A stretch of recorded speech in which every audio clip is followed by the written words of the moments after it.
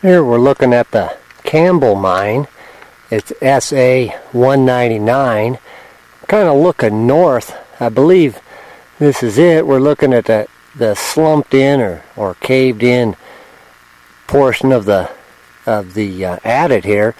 It's completely caved at this point. It was stated by somebody that lives close by that it was a very small opening in the a fall a year ago but I don't believe that it is at this point. I'm, I'm feeling this is the right one that he was speaking of. There's mineralization on what I'm calling the dump. There are other prospects on this hillside, so I'm not real sure if this is it or not. Um, it, it certainly appears to be. It, it's where it plots on the map as best as I can locate it.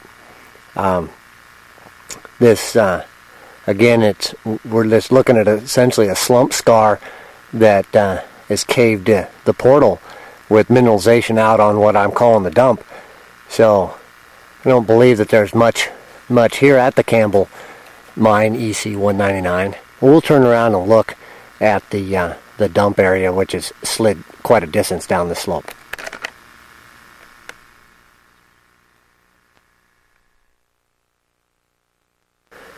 Here we're looking back west at my pack is just outside the perceived portal right above what I would believe is the dump. You can see the, the material sliding down the extremely steep slope here to the the uh, south. You can get a kind of impression of the of the uh, slump scar and the where the I believe the adit was is caved in. So there's not really anything left here to speak of. Um, so this will be it for the Campbell Mine EC or SA 199.